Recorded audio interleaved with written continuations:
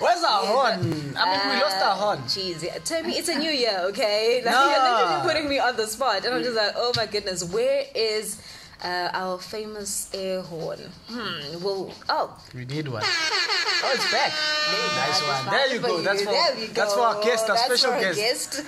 Uh, we're so excited. I Yeah, mean, man. she's credited with the birth of women football in South Africa and is seen as the face of women football in the country. Mm-hmm, And late last year, she released, of course, a book detailing her football administration journey.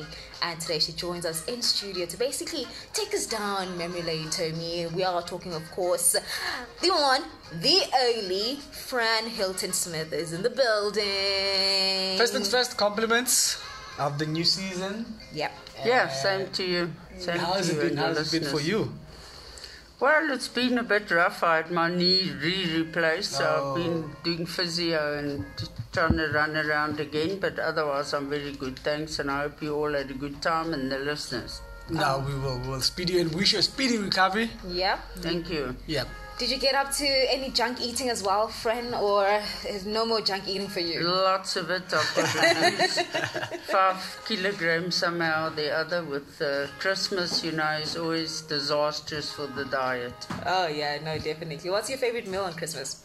Well, my favorite meal, of course, is turkey, and we had a big family lunch in the vineyard. So you always eat too much because it's just there, and then you eat it. So Oh man, we, we love that. But uh, I guess then let's let's talk about the book. We're actually uh, looking at it right now, and you were showing us, Fran, you know, your your best picture as well in, in the book with. Uh, uh, Nelson Mandela, which I'm looking at it literally right now. Yeah, yeah, yeah, there it yeah, is, yeah. Tommy. There you go. Talk there you about go. memories. I know, right? Yeah, like man. absolutely incredible memories that. And you when was to that? Around which year, maybe?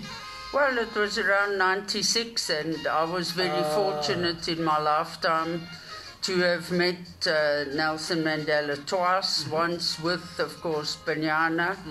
Uh, as we were leaving for Nigeria, we spent an hour with him, and then again with my band, Basadi Women of Jazz. We were invited to Oh, yes. play at his house in Pretoria, so I've been really privileged to have met the great man twice in my lifetime. I want to know. Well, while we're still on the book, has it always been something you've wanted to do? You've always wanted to do, or in, in, in I think in your lifetime, maybe like you know, at some point I want to write a book, or it's some it's an idea that came up later on in your life. Absolutely. I, uh, as my life progressed, I thought I've experienced so much. I've fought so hard. Uh, Banyana have succeeded. I want to capture what I've been through for other women, for men, for any to read, mm. and hopefully that my book can be an inspiration mm. for. Uh, women, men, that you can achieve anything you want if you just put your mind to it. You, you just mm. can't give up, and I think the book illustrates that in I've tried to squash as many things into my life as possible. I was a teacher for 20 years, I was a biker, I was a musician, whoa, I was a rower, I was you name it, I've tried it and, and everybody must do that. Nothing is impossible. Yeah. Live your dreams. I like your that. dreams. I like that. I like No, that because you know it's like uh, YOLO Yeah, type yeah, of thing. definitely. you know? Don't box yourself. You can do That's it. anything that you want. Yeah. I mean, staying with the book, Fran, um, a song for Banyana, and I'm seeing also, you know, quotes here from Mark Gleeson that's saying, you know, that it's classic storytelling as it should be with humor and, and heart. Carol Shabalala, also this one, saying that it really, um, you deserve to be celebrated, your journey deserves to be celebrated, and uh, which is really true. Talk to us how, um, you know, this came about, you know, this book to say, okay, um, it needs to come out last year, and I mean, we're fighting COVID 19 also, and you decided this is the perfect time for me to actually now do this book and release it. Yes, I think, uh, you know, I've been fortunate that in my life I did a lot of work for FIFA, the world body from 2001. I was working for FIFA, traveling. I haven't missed the Women's World Cup except 91, but the rest I've been there. And every time I'd be overseas, I'd say to my colleagues, you know, we have the best players in South Africa and they'd always say, "Ah, this Fran, she's always talking about her players, but they never Yeah. get to the World Cup." But Ish. once we got to the World Cup, which was in 2019, that also inspired me to put it down now that we finally got to the World Cup. Um, my point was proven because suddenly the whole world was snapping up our players. Yeah. And we have players now like Linda, Thembi, Janine, uh, Refiloe, Jermaine, all playing at the highest level in Europe. And I always knew that was possible. And now I'm writing to all my friends and saying, I told you so. Oh. Buy my book, follow my players, they, they're all over. But on that note, uh, an important thing that I started 18 years ago was the High Performance Center in Pretoria. And that was something I realized in my travels overseas. We needed an academy Yeah. so that the girls could come and be in one place, um, have nutrition, have medical, Yeah, have yeah. everything. And that's paid off big time because these key players, the Lindas, the Thembis, Janines, Mamello, the list is endless, all come through the ranks of the High Performance Center. And even someone like Simphiwe Dludlu, who's the under 17 coach, she's a product, she has a sports science degree. Um, we have last, I think last year, 19 of my students qualified with university degrees, mm. and it's all thanks to football. Mm. So now our parents who, before when I'd say, look, can I have your daughter to play football, they'd say to me, well, what's the point? Where is Yeah, it yeah. going to get her? It's a waste of time. Mm. Now they can see you have someone like Thembi Kgatlana last year. She built her parents a house in Alex. Uh, she bought them a car. So now parents can, I can say, look, look what women's football can do for your daughter. They've been to the World Cup, Olympics, whatever. So the whole ball game has changed.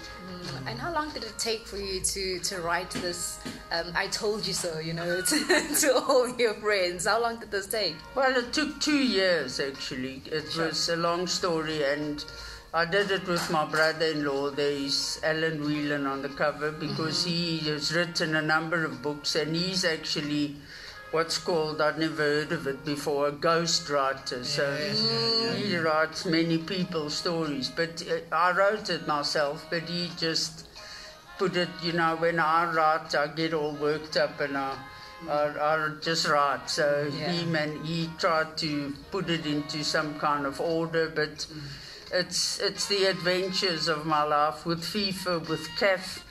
Um, I'm the only one who's ever served on the CAF technical committee, woman from any country in Africa. Um, I've been there since 2013, so that was huge. It was there I fought for them to introduce the Women's Champions League, Yeah. which uh, was finally implemented. Also, a dream come true for me, and even a bigger dream come true for a South African team to win it in Mamelodi Sundowns Yeah. and they'll be back again there next year. So um, I've really been fortunate to to have achieved a lot of my dreams.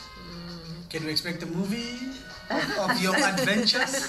That would be nice. that would be really nice. I certainly hope so. I hope someone comes along and makes a movie. That Yeah. would be great. But uh, the book, I think, covers 50 years of my life Wow. uh, in all these different areas. I was Hmm. a karate instructor, I was a South African rowing champion. So I've tried to do everything I possibly could, and I want all women to do the same. What haven't you done? That's a good Well, question. make money. Make money. really, Fran? well, that never stops, eh? no, no, no. We never stop. No, it never stops. It can't stop. You need to always make No, money. no, that's one thing. I never worked for money. I can say that honestly. But Yeah. uh, it also, um, I think in the book I've said it is, it, we went through tough times. It was not easy, especially in our travels in Africa.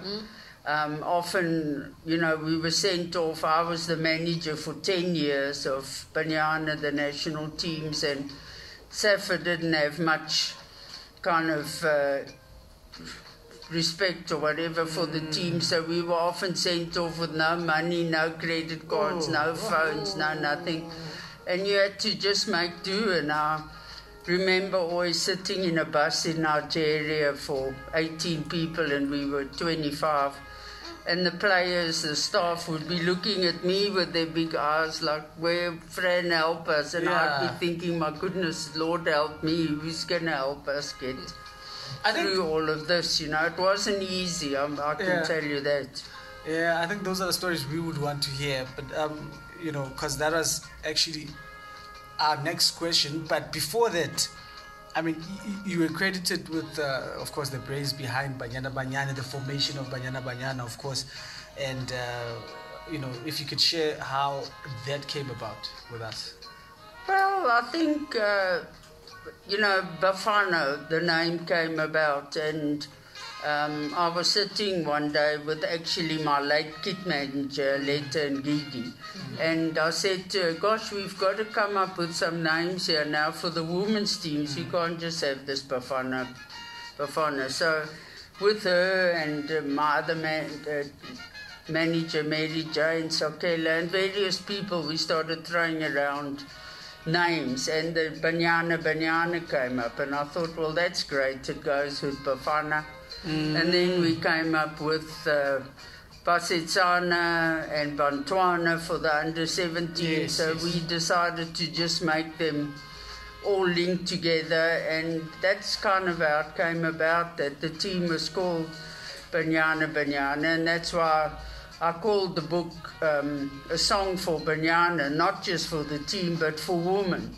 It's a song for women to So to rise up and and uh, express themselves and follow in my footsteps. I think um, I realized there weren't any women coaches. I had to fight my whole life to, to get on coaching courses. It was just not accepted. Yeah. And once I was the technical director at SAFA, I made it my point to enable other women, mm. especially former Banyana players, to do coaching courses. And 27 of the women, mainly former Banyanas, have their CAF A license, mm, which mm. is the highest qualification in Africa. And we as South Africa have more qualified women coaches than the whole of Africa put together. Oh, mm. So I've left a legacy there in administration too. I did FIFA courses for all the women from the region, and we have 87 women who've completed the FIFA course. Mm. Yeah. So I've tried to empower women to carry on the legacy and uh, ensure that women can run women's football. Mm, and then, Fran, I'm interested. I mean, as I hear about your stories, right? I want to find out now, back to a younger, like really younger you, how you got into football. Like, what made you fall in love? When was this? And did you see your journey, you know, getting to this far? Well, I never thought it would get this far to be on, you know, FIFA CAF recognized in the world. Last in 2019, I got the Steve Tshwete Lifetime Achievement Award. Mm-hmm. I never thought I'd get that many awards, but mm-hmm. when I was a youngster, my father played football. And it, uh, it just seemed that in the area where I grew up when I was seven, eight, nine, ten, most of the kids were boys. So they were all playing football. So I thought, oh well, I might as well join these guys. I've got nothing to do. So of course Yeah. they said, okay, you can come and play. You must be the goalkeeper. Oh. So I said, okay, I'll be the goalkeeper. were, were you good? I was As a not as a goalkeeper, I wasn't much good, but then I slowly could push my way into the team, and I was a very good left-footed left wing, very fast, very tall. So I slowly that's how my football career started. And uh, continued, and then I started playing provincial football for Eastern Transvaal and Gauteng, and I was uh, for 10 years I played there. Uh, got in the national team, but of course we weren't able to play in FIFA competition like the men. yeah. So that was disappointing, but um, so I continued, and then when my football career came to an end, I thought, well, there's no women coaches. Let me get into this field, but it Yeah. was, as I said, very difficult. Yeah. And then I got into administration, was the president of the South African Women Football Association. We then affiliated with SAFA and I became the team manager. So I've been involved in all the aspects really. Sure, that's absolutely incredible. It is. It is. I mean, uh, you, you mentioned you being a left winger and being fast, and uh, me and you, You have relate. something I can relate. Uh, something in common we share, at least. Uh, I can proudly say. ah, okay. Um, I want. I want. sorry. I want to go back to the challenges as well. You mentioned the challenge you had to go through. You know, with Banyana and the bus 18, and all of that. So I want to you to get us, you know, uh, to understand what were the challenges, maybe, you know, as a as a women's team as well, you know, especially in a male-dominated sport. Then Some of the challenges you face. Well, there were many. There still are many, but uh, and that's not just in South Africa. It's Africa. It's the world. I've travelled the world thanks to football, and I've seen in my travels that the problems are general. You know. But in South Africa specifically, I mean, when we first started with the national team way back in 92, 93, um, the manager then, Dora, they had two kits that were old Bafana kit um, that the girls had to wear. We had to tailor them, we had to take them in. We wore the s- same kit for five years. She never lost a sock. Um, We never had money, the girls never got paid, and not much has changed. We still don't get paid much. Yeah, the girls yeah. still need to, but it, that's, uh, as I said, it's not just a South African problem, it's an African and a worldwide problem. Is women are always paid less than the men, but it's just the respect that women's football needs and also sponsorship. I've never understood why um, women's companies don't come and sponsor women's sports. I also want to football. That's ask, sorry to interject. Uh, You're touching a very important point there about sponsorship and the willingness of sponsors to, you know, invest. Why do you think, Fran, is, is that is a problem, especially from other women, you know, in, in, in those positions? Because we do have. Uh, Why? What is the the problem with that? Why aren't they willing to do it, or why are, are they reluctant? Well, I'm not sure. Maybe you know, it's it's that they, they don't get much TV coverage. But now you have the Hollywoodbets every weekend. The girls are on TV. Um, you have uh, I don't know, women buying all these products. Women are generally the shoppers. Maybe there isn't uh, enough people pushing them enough to get involved. You know, maybe you need specific people at SAFA who just go and approach these women's companies, Lever Brothers, whatever, stockings, hair shampoos, to come on board and sponsor women because um, it's, uh, I think Sasol, who are the biggest sponsors of been, women's yeah. football ev- ever, I think they've reaped the benefits of their sponsorship. They've really seen the success of Banyana, winning COSAFA five times, Bukhari Cup, um, going to the Olympics, the World Cup. So they've got back a lot of interest. People support Sasol. And I think that should be an example to other companies that you, you can reap the benefits from putting something into women and you empowering. You know, I always say if you empower a woman, you empower the whole family Yes, yes, and um, that's why I wish we would have more sponsorship. But women's football's always been the poor relation. We've always had to share boots and share tackies and share kit and share, share, share. So mm-hmm. it's Sure. something that still needs a lot of work. Mm-hmm. No, it definitely does. We are, of course, in studio with the amazing Fran Hilton Smith, and we'll continue with the great conversations. Let's see if Fran can still dance off air. Sports Radio. We are sport if she